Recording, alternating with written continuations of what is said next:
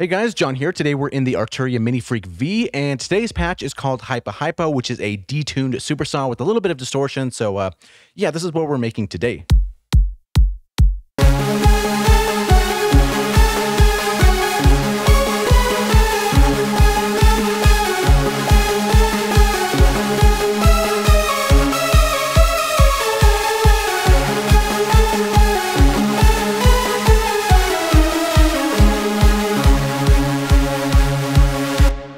Yeah, aggressive, detuned, distorted, the whole goodness here. And by itself, it sounds like this.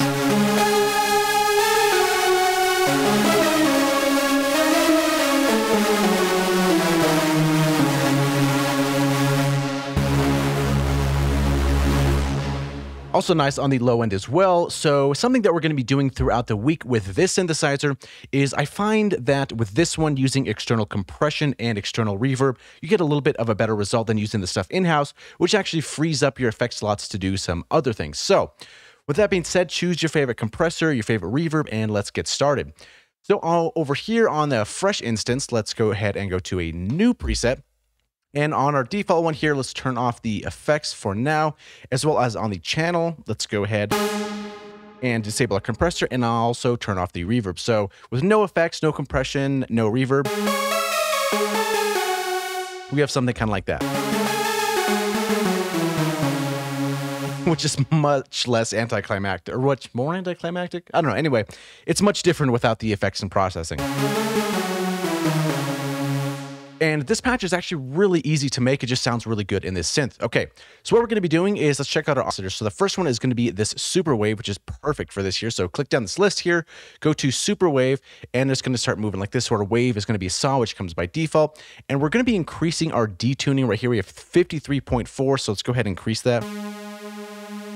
53.4. And I also I've noticed that this synthesizer comes out a little bit lower than I generally like, so I kind of boost up here. So we're doing 4 dB on the master. So something kind of like that, just a little extra right there. So the first oscillator's volume is going to be all the way at the top, so let's go ahead and bring it all the way to the top like that. And then for our second one, we're also going to be using Super Wave as well. So let's go ahead and dial that guy up. So Super Wave as well. And if we look at the tuning here, this is going to be up one octave here and also the default 5 cents, which is actually kind of okay. And for this guy, let's get some of the settings right. So it's going to be saw. The detune is going to be 64.6. So actually, we can just turn this up here, turn this down for now. So pretty detuned, right? But that's really the charm of that. And then the volume for this guy is going to be 67.5, which I believe is probably, no, it's close to default, 67.5. So now let's bring in both of our oscillators here.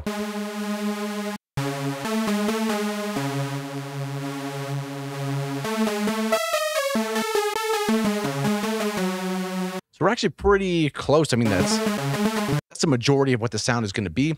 So let's take a look at our filter. So our cutoff is going to be 75. So let's bring this to 75. It's going to be low pass. 75, and let's take a look at a resonance, We're kind of high up at 48, and the envelope amount is 26. So 48 to 26.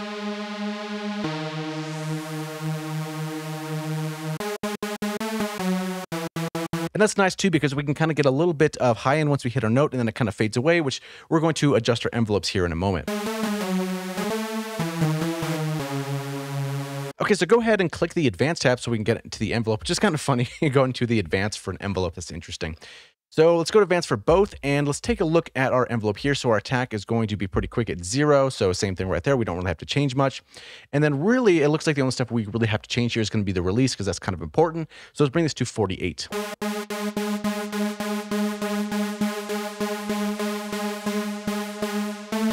Which if you notice it's not only uh, affecting the amplifier, it's also affecting the filter. So we get a little bit of that slower release of those notes.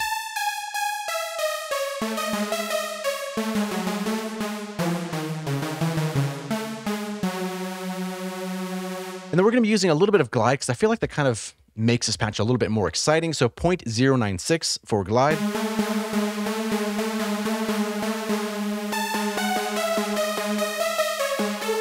It's subtle, but it's there, so it's kind of a little, uh, little nice thing there.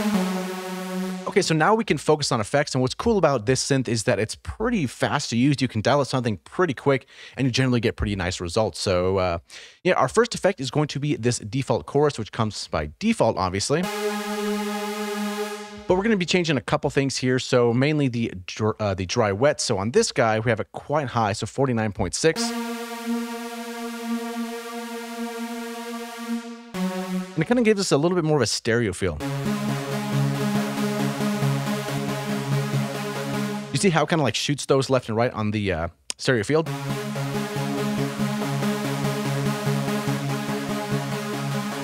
And it also adds a little bit to that detuning vibe. So for our next effect, let's go here to the main one here and turn this on. So this is going to be a delay, which is kind of fine because it's already here. But we're changing the presets to ping pong sync. So let's go ahead and do that. Preset ping pong sync. And for this guy, our feedback is going to be 36.2. So bring this up to 36.2, something right around there. And then our level here is going to be 58.0. We also got to turn it on here. And then our time, I believe, is one over eight dot. It comes by default, which is fine. Yeah, so this is going to be this here. And it's going to be on a send as opposed to the insert. So make sure you have a send selected there.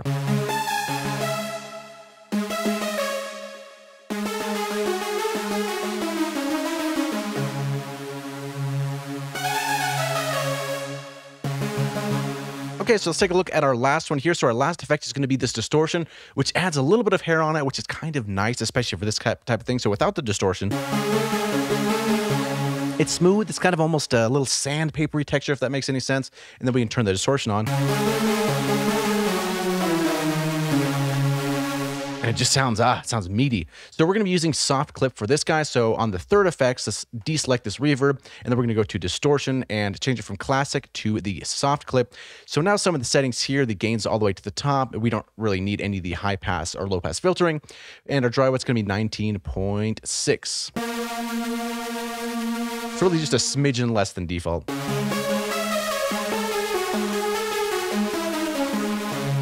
And if that's a little too much for you, you can always just dial back this knob here, but I find it's kind of cool having this distor distortion here.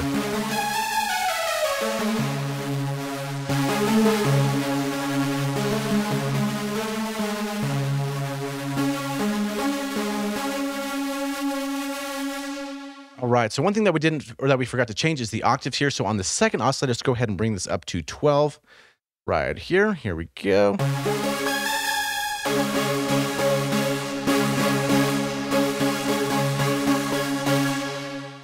Okay.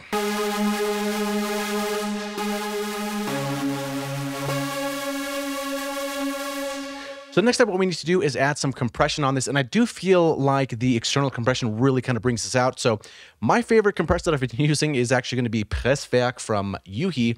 Now this one's really cool because we have this crazy interface here, but if we don't really need something this insane, we can go to this different view and we can go to easy compressor, something like that, which really kind of just targets the focus knobs that we need, and we really don't need something crazy for this like that. So for this, we can go to a ratio of maybe 4 to 1, something like that, and we are active. Maybe a little bit of faster response to kind of just dial in the compression to taste.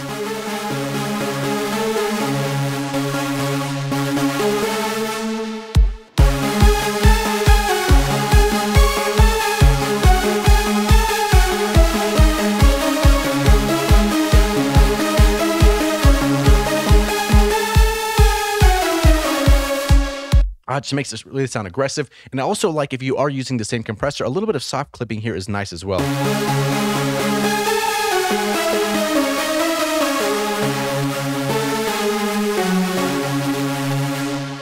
Okay, so now it's time for our reverb, so we can go ahead and close our compressor window. And we just attach it to our vintage verb and, you know, drag it however much we want.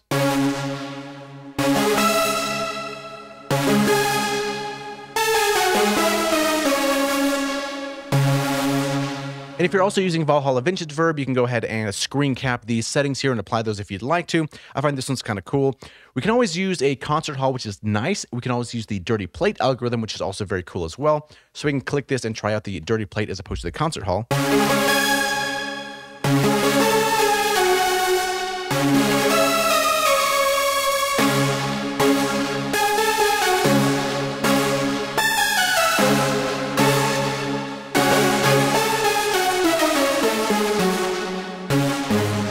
Low end, like I was saying before.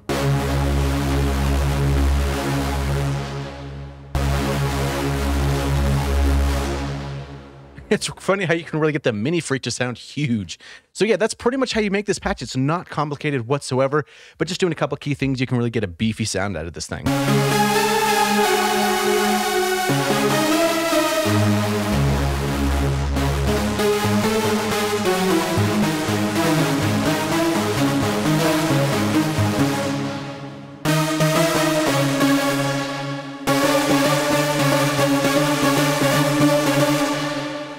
Yeah, so that is this patch. If you'd like to get a free copy of this patch, there's a link in the video description below and it can be yours. Just keep in mind, and I also put it in the description of the patch that use external compression and use external reverb because you're going to get a fatter, bigger sound from that. So yeah, use whichever ones you like. Those are the ones I use. So uh, yeah, thank you for watching. Hopefully you learned something and we'll see you in the next video.